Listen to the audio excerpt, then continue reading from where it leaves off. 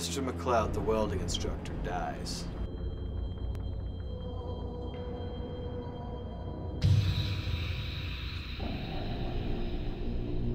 And as he burned alive, he shook his fist in the sky and he swore he'd be back.